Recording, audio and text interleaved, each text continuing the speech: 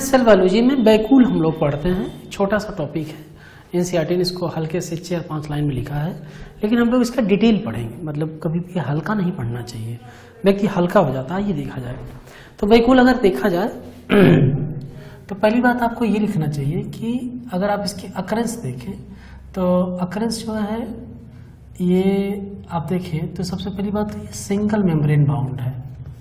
यहाँ शुरू करते हैं हम लोग।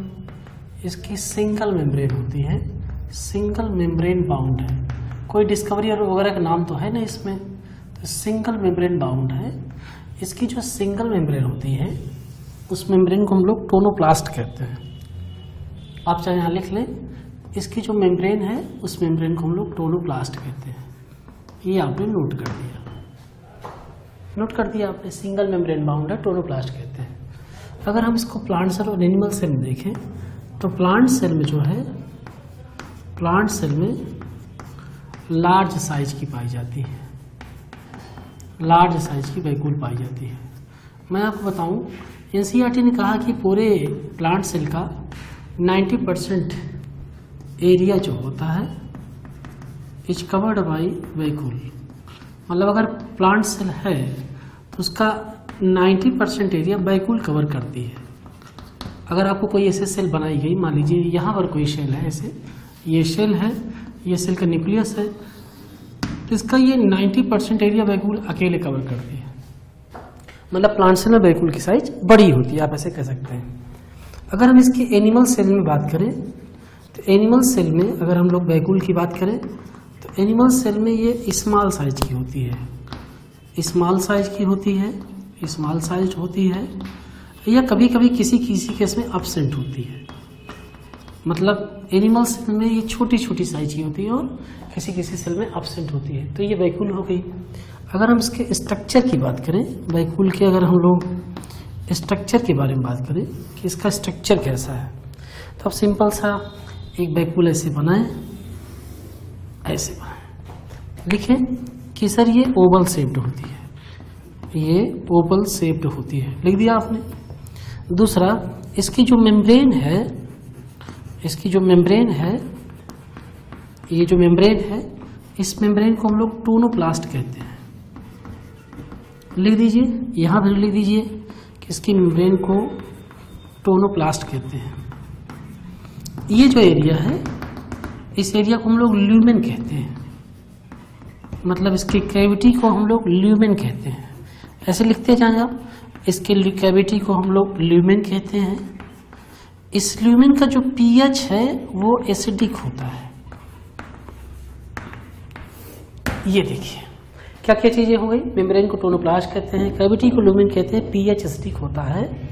इसलिए इसलिए आपको ये बात ध्यान रखनी है कि प्लांट सेल में, प्लांट सेल में बैकूल जो होती है बैकूल जो होती है, behave like lysosome. Behave like lysosome. ये देखिए आपने लिख दिया ये प्लांट सेल में का जो फ़ंक्शन है, वो लाइसोसोम जैसा होता है। लाइसोसोम जैसा होता है। लाइसोसोम का नहीं होता, इसका ध्यान रखें। अब आप ये देखिए कि मान लीजिए ये कोई सेल है। आप ऐसे समझिए इस बात को कि ये सेल है। बोलिए हाँ सर सेल है। ये इस सेल का न्यूक्लियस है, ये भी आपने लिख दिया। तो यहाँ पर क्रोमेटिन है। और अगर आप जब इतनी बात कर रहे हैं तो ये देखिए, इसके अंदर आपने ये बड़ी सी वैक्यूल बना दी। हाँ ये भी लिख दिया आपने वैक्यूल बना दिया। तो आप ये समझें कि इसमें जो चीज़ें ट्रांसफ़र होती हैं, उन चीज़ों का कंसंट्रेशन साइटोप्लाज्म में कम होता है वैक्यूल में ज़्यादा होता है। तो बताइए, कंसंट्रेशन ग्रेडियंट की कैसे काम करती है? अगेंस्ट काम करती है। तो देखिए मटेरियल्स आर इस बात को लिख सकते हैं materials are transported materials are transported transported against against concentration gradient against concentration क्या बेटा ग्रेडियंट जो भी चीज़ें वैक्यूल में ट्रांसफ़र होती हैं साइटोप्लाज्म में, वो कंसंट्रेशन ग्रेडियंट के अगेंस्ट ट्रांसफ़र होती है। ये आपने लिखा। मतलब अगर साइटोप्लाज्म से कोई भी चीज़ वैक्यूल के अंदर जा रही है तो कंसंट्रेशन ग्रेडियंट के अगेंस्ट जा रही है। मतलब उसका कंसंट्रेशन साइटोप्लाज्म में कम है और वैक्यूल में ज़्यादा है। इसलिए ऐसा होता है। तो अब आपको मैंने लिख दिया, ये देखिए सिंगल मेम्ब्रेन बाउंड है प्लांट सेल में बड़ी साइज़ की है। याद रखिएगा एनसीआरटी लिखा है 90 परसेंट एरिया घेर के रखती है। बाइकुल और एनिमल सेल में छोटी साइज़ की है। स्ट्रक्चर देख लीजिए ओवल शेप्ड है मेम्ब्रेन बाउंड है। कैविटी को ल्यूमेन कहते हैं, जिसका पीएच एसिडिक होता है। यहाँ पर जो भी मटेरियल भरे रहते हैं, उन्हें सैप कहा जाता है। ये हमेशा नॉन लिविंग मटेरियल होते हैं। मतलब इसमें कोई लिविंग चीज़ नहीं भरी होती है। आपको ये भी ध्यान रखना है। अब आप ये ध्यान दें, अगर हम लोग इसके टाइप की बात करें, कि वैक्यूल के टाइप भाई कितने हैं? तो टाइप की अगर हम लोग बात करें तो पहला जो टाइप है, उसे हम लोग गैस वैक्यूल कहते हैं। सिंपल सी बात देखिए कि गैस वैक्यूल कहाँ पाई जाती है। लिख दिया आपने गैस वैक्यूल मैं अगर आपसे कहूँ कि जो प्रोकैरियोटिक सेल है प्रोकैरियोटिक सेल है सिंपल से बहुत ज़्यादा परेशान नहीं होना है। प्रोकैरियोटिक सेल जो है, जो फ्लोटिंग करती है मतलब जो तैरती है फ्लोटिंग करती है या आप कहेंगे, सर बायोएंसी जो करती है, उसके लिए रिस्पॉन्सिबल कौन है? गैस वैक्यूल है। अगर ये सेल है, प्रोकैरियोटिक सेल, ये इसका न्यूक्लियस है, और यहाँ जो वैक्यूल है, इसे हम लोग गैस वैक्यूल कहते हैं। इस गैस वैक्यूल का अगर आपसे कोई फ़ंक्शन पूछे तो आप कहेंगे, सर, ये गैस वैक्यूल का फ़ंक्शन है कि इस प्रोकैरियोटिक सेल को बायोएंसी देती है। बायोएंसी मैंने हेल्प करती है। एग्ज़ाम्पल लिख लीजिए बी जी ए ये एनसीआरटी में नहीं है, लेकिन आपको याद करना है। ब्लू ग्रीन एलगी जो पानी पे तैरती है, उसका कारण उसमें कौन सी वैकुल पाई जाती है? गैस वैकुल पाई जाती है। दूसरा वैकुल, ये पहला टाइप हो गया। अगर आप इसका दूसरा टाइप देखिए तो इसका दूसरा वैकुल का टाइप है, जिसे हम लोग फ़ूड वैक्यूल कहते हैं। फ़ूड वैक्यूल आपने फिर लिखा सर फ़ूड वैक्यूल की बात किया जाए। तो आप ये देखिए, ये फ़ूड वैक्यूल अमीबा में पाई जाती है। कहाँ पाई जाती है? अमीबा में। लिख दिया आपने सर, अमीबा में पाई जाती है। अगर आपसे पूछा जाए, बना, बनती कैसे है? ये भी लिख दीजिए। In folding of plasma membrane in folding of plasma membrane एक बात और लिख रहे हैं तो लिख ही दीजिए। Analogous to analogous to analogous to intestine of human analogous to intestine of intestine of human और डिटेल में चलिए इंटेस्टाइन ऑफ़ ह्यूमन देखिए। क्या होता है? देख बेटा ये देखो, ये क्या है? ये अमीबा है, ये इसका न्यूक्लियस है। ये खाना है फ़ूड है, ये भी लिख दीजिए। हो क्या रहा है बताइए? फ़ूड है, दूसरी स्ट्रक्चर देखिए। हो क्या रहा है? फ़ूड को दूसरे पेज से बना दीजिए, तभी आपको ये बात समझ में रहेगी ये आपने फ़ूड बना दिया। अगले फिगर में ये हो रहा है, देख बेटा, ये ऐसे अमीबा इस तरफ़ जाता है, खाने को अंदर लाता है। ये खाना है। अब बताइए कौन इनफोल्ड कर रहा है? साफ़ साफ़ दिख रहा है, अगर आप ध्यान से देखें, इसकी प्लाज्मा मेम्ब्रेन इनफोल्ड कर रही है। नेक्स्ट फिगर में देख लीजिए। नेक्स्ट फिगर में आपको ऐसे दिखाई पड़ेगा कि ये ऐसे इनफोल्डिंग हो जाती है, ये इसका न्यूक्लियस है। फ़ूड यहाँ पर होता है, ये ये फ़ूड है अंदर। लास्ट फिगर में आप देखेंगे तो ये अमीबा इसे नॉर्मल हो जाता है। आप देखिए, ध्यान से देखिएगा, ये इसका फ़ूड है, ये फ़ूड है। लेकिन इस फ़ूड के ऊपर ये प्लाज्मा मेम्ब्रेन है, ये न्यूक्लियस है, इसी फ़ूड वैक्यूल को आप फ़ूड वैक्यूल कहते हैं। तो अगर आप देखें तो अमीबा में फ़ूड वैक्यूल का फॉर्मेशन कौन करता है? In folding of plasma membrane और यहाँ पर हो क्या रहा है? अब देखिए लिखा एनालागस इंटेस्टाइन इस फ़ूड वैक्यूल में ये जो फ़ूड वैक्यूल है, यहाँ पर डाइजेशन का काम हो रहा है। किसका काम हो रहा है? डाइजेशन का काम हो रहा है। ये आपने फट से नोट कर दिया। देखिए, दो टाइप हो गए। तो पहले तीन टाइप पढ़ा दिया मैंने आपको सॉरी पहले गैस वैक्यूल पढ़ा दिया, फिर आपको फ़ूड वैक्यूल पढ़ा दिया। अब मैं आपको तीसरी वैक्यूल पढ़ाता हूँ, जिसका नाम कंटेक्टाइल वैकुल है। हाँ तो देखिए कंटेक्टाइल वैक्यूल को हम लोग जनरली मैंने आपको चार टाइप दो पढ़ाई पढ़ा दिया। Gas vacuole prokaryotes food vacuole amoeba में।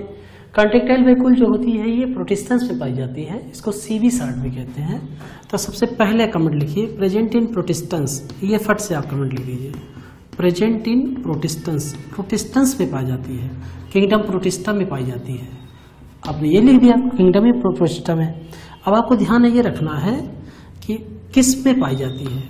प्रेजेंट इन, इसको भी लिखिए। Present in fresh water. Present in fresh water. जो फ्रेश वाटर में रहते हैं, and and non pathogenic resistance non pathogenic मतलब क्या हुआ? ऐसे ऐसे जिनसे हमको कोई डिज़ीज़ नहीं हुई। नॉन पैथोजोनिक प्रोटेस्टेंस नॉन पैथोजोनिक प्रोटेस्टेंस तो आप इसका अगर एक्सप्लेनेशन देखें तो अगर बेटा आपने अमीबा पढ़ा होगा तो अमीबा में जो कॉन्टेक्टाइल वैक्यूल है, जो सीबी है, उसकी संख्या एक होती है। लेकिन अगर आप पैरामीशियम में देखें, कभी आप इन चीज़ों को देखें, जब स्ट्रक्चर आप बनाते हैं तो आपको दिखाई पड़ता है। पैरामीशियम में देखें तो कॉन्टेक्टाइल वैक्यूल की संख्या दो होती है। तो साफ़ साफ़ लिखा है कि ऐसे जो फ्रेश वाटर में पाए जाते हैं और जिनसे हमको कोई रोग नहीं होता प्रोटेस्टन से, उनमें जो है कॉन्टेक्टाइल वैक्यूल पाई जाती है। एक कमेंट और लिखिए। अगर आपको लिखना है तो आप ये लिखिए absent in absent in absent pathogenic and and absent in pathogenic and marine protistans ऐसे प्रोटेस्टेंस मेरेन प्रोटेस्टेंस ऐसे प्रोटेस्टेंस जो समुद्री पानी में पाए जाते हैं और जिनसे हमको रोग होता है, उनमें कॉन्टेक्टाइल बिल्कुल नहीं पाई जाती है। तो ये कॉन्टेक्टाइल का कॉन्सेप्ट है। पहले आप ये समझ लीजिए। अगर आप इसका एक्सप्लेनेशन करें एग्ज़ाम्पल देखें एग्ज़ाम्पल देखें अमीबा को अगर आप देखें अमीबा में अगर आप इसका एक्सप्लेनेशन देखें तो अमीबा की सेल में, बेटा, ऐसे आप अमीबा बनाते हैं, इसमें न्यूक्लियस बनाते हैं और यहाँ सीबी बनाते हैं। कॉन्टेक्टाइल वैक्यूल तो ये कॉन्टेक्टाइल वैक्यूल है। कॉन्टेक्टाइल वैक्यूल इसलिए कह सकते हैं क्योंकि इट कैन कॉन्ट्रैक्ट और रिलैक्स इट कैन कॉन्ट्रैक्ट और रिलैक्स ये कॉन्ट्रैक्ट और रिलैक्स हो जाती है, इसलिए इसको कॉन्ट्रेक्टाइल वैक्यूल कहते हैं। कैसे? मैं आपको एक दो एग्ज़ाम्पल दिखाता हूँ।